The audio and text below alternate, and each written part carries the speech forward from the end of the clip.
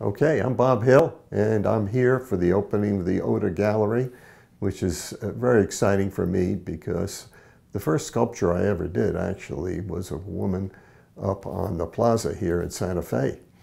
Uh, I, in my early career, I worked in clay, terracotta, and I did a lot of native uh, subjects, Western subjects, horses, cowboys, uh, Native Americans.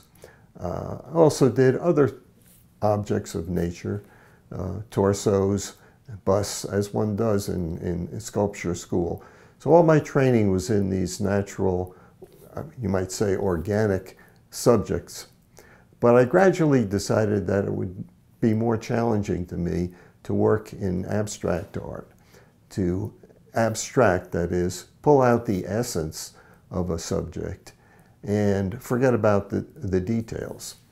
And that's what I've been trying to do, and that's what I try to do with the, the pieces I have here.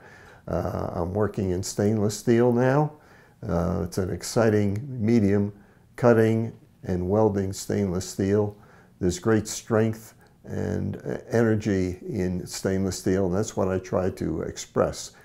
Even though the steel is hard, it still has, in the way I shape it, I believe, an organic form that reflects nature. It reflects uh, people, it reflects landscapes, it reflects plants, uh, and that's what I ask the viewer to look at and see what she sees when she's looking at my abstract sculpture.